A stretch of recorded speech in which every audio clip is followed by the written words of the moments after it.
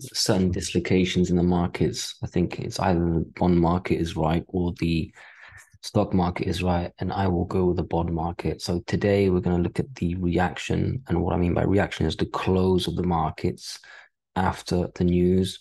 So after the CPI data, for me, very interesting, very interesting stuff. So let's look at the S&P. The S&P did reach higher, but it closed still within the descending line. So we're still not out of the woods in terms of closing beyond the descending. The NASDAQ, similar, it tagged the top of the descending, didn't close above it. Okay, we're still bullish, but we didn't close above the descending. Dow Jones, same sort of thing. It's not a descending, it's a horizontal resistance point. You could even say it's up here. Didn't close above it. Actually had a red day today. In fact, the Nasdaq was the only one that was green. The Russell, which basically unchanged, it has closed above the descending, but that was actually done the day before. That was on Monday. So for me, it's sideways bullish, but we're hitting resistance, and I would really not be surprised if we go down today.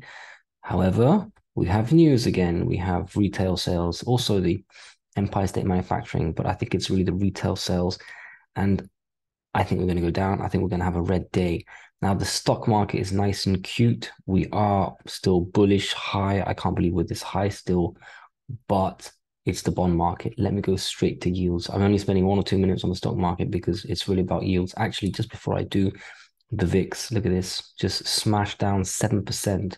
Doesn't make sense. I mean, you could even argue it should be sideways green today after, you know, basically the markets were unchanged. I mean, the Nasdaq was up three quarters of a percent, but the rest was sort of unchanged. The Dow was down half a percent. I don't understand why the VIX is down more than one percent, other than the fact that the VIX is totally broken. Now, it did, it did go all the way back down and tag the descending line.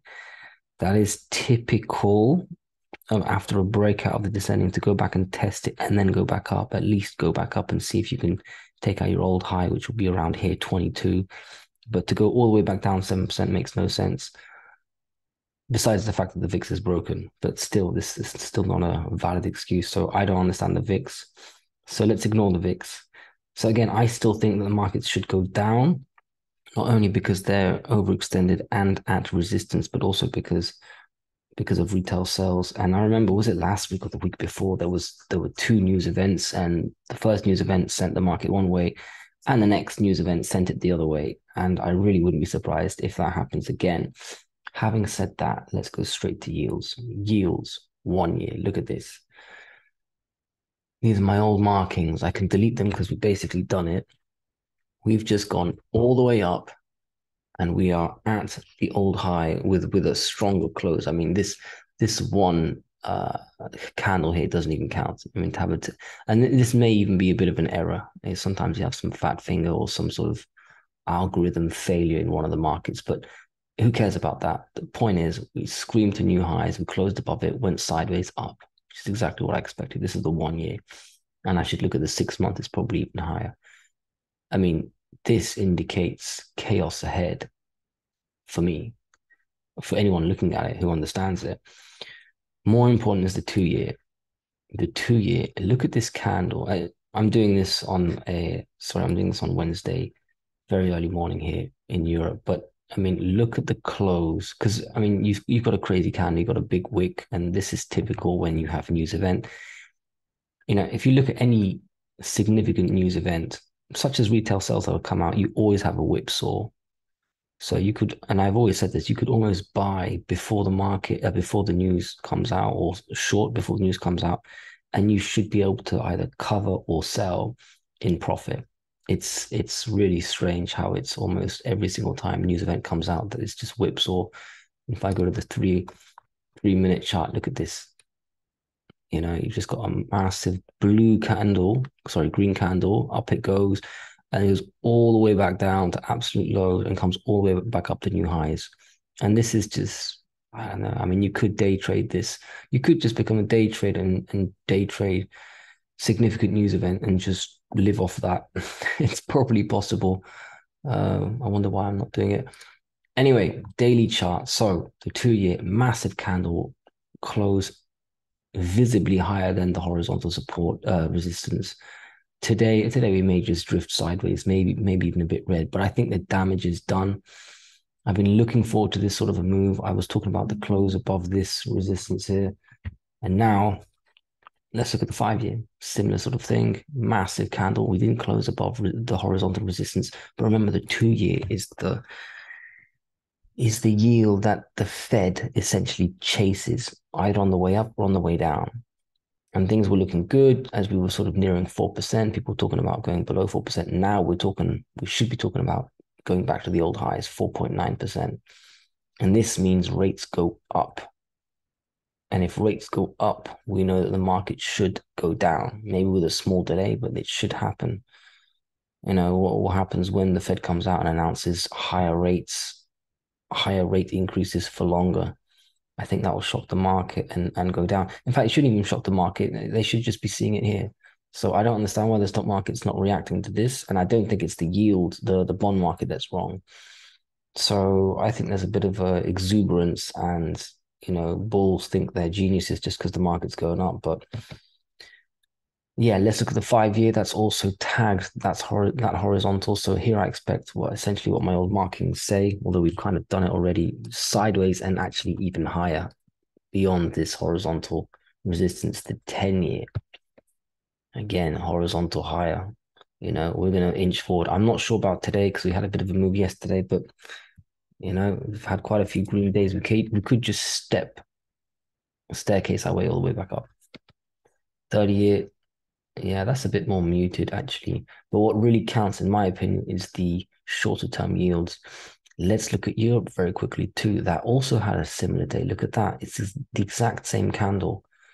So, you know, staircase up and then maybe even break out very, very soon. This is just one or two weeks away from new highs. And I think it's pretty alarming stuff. It's basically the German yield, the French yield, same thing. Look at that. Exact same thing. Italian yield, same thing. Maybe just a little behind, one or two days behind. The British yields, which came all the way back down, if you remember, after that saga a few, what is it, months ago now, Look at this coming all the way back up. That's the 30 year, the 10 year. As soon as we clear this sort of 3.8 on the 10 year and four on the 30 year, you know, the next level is essentially the old highs. And then what? Everyone's going to be talking about yields again. So yields for me just remain the most important thing, especially the two year, the US two year, and the EU 10 year, you know, just to summarize the EU yield problem. Let's look at the dollar. The dollar again. Okay, the dollar wasn't as strong as yields, but you know, another hammer. It wasn't a red day. It was just a sideways day, and today we're creeping up, but it's a bit it's a bit early to talk about today. I still think we're gonna just tag, take out this descending, close above four, and run straight to 105.5. You know, which means essentially that just like yields, this is essentially the same chart as yields with a small delay, the way I see it. So I don't think the, unlike yields though, I think yields will make new highs. I mean, like the one year has already done, essentially. The one year has made new highs, but I don't think the dollar will make new highs. I think it will go higher, much higher, but I think it will sort of fail, uh, you know, in several weeks, maybe.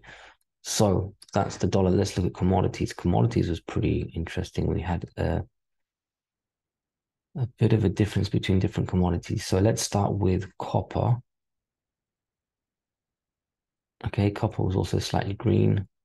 It's really sideways. It's, it's difficult to call for me. Copper, I just feel like it will come back down. I do feel like copper will just sort of go sideways and come back down with the market.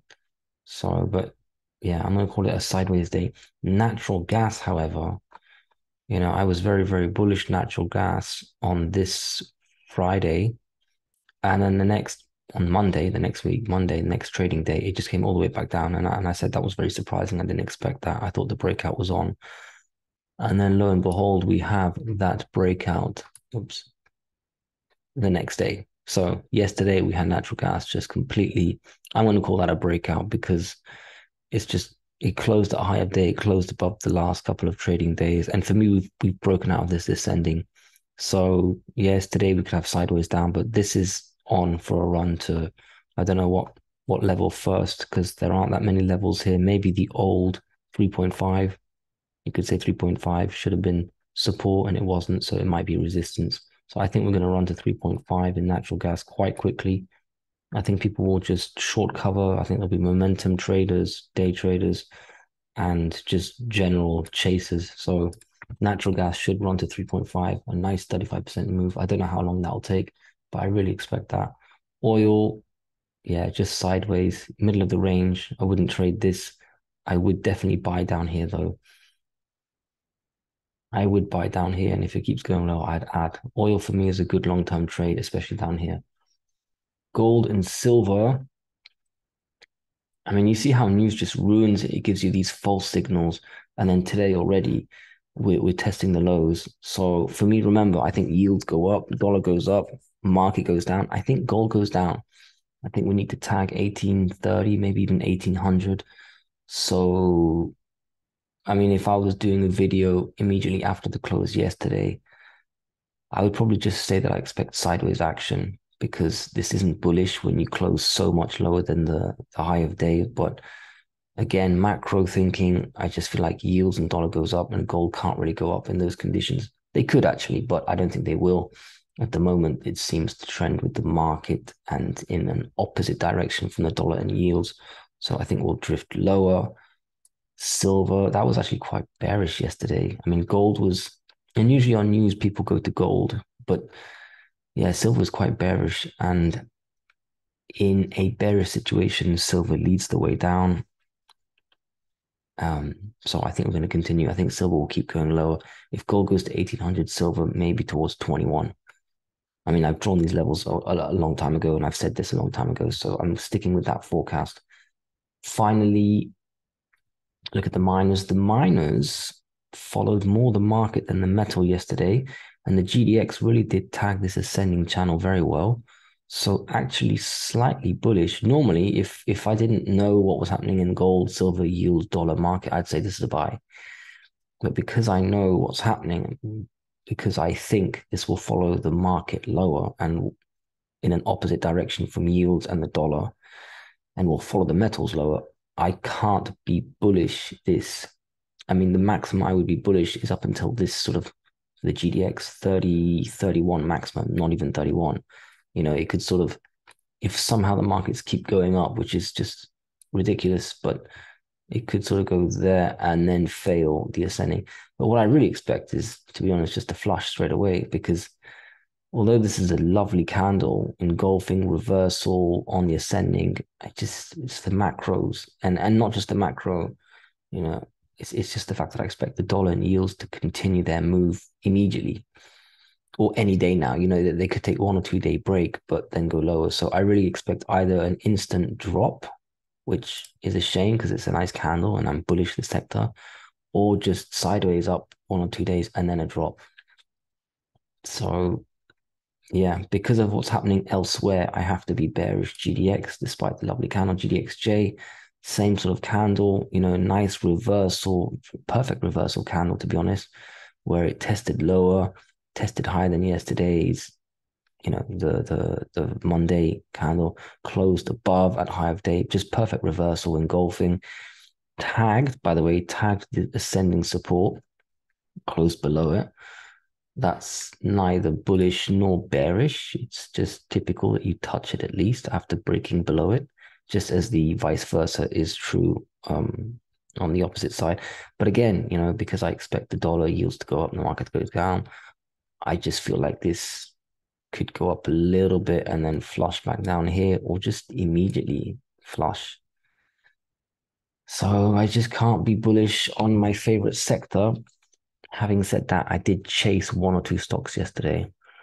I think it was Goldfields, a little bit of EXK, a little bit of First Majestic, just because I'll be very, very quick to show this, just because of what their chart was doing. You know, so here, for example, I forgot where I bought it. I think it was 314, you know, sort of middle of the range, nothing special.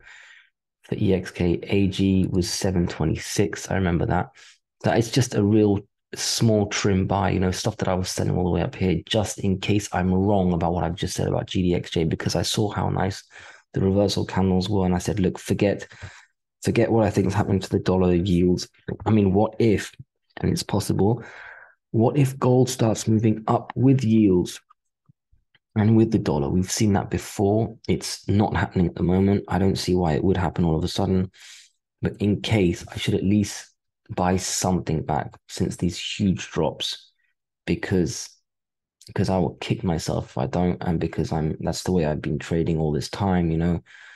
So I sort of it, it was very light buying, so I really still wanted to go lower, but I just thought I'd buy some of it back. So it was EXK, AG, GFI, that's Goldfields.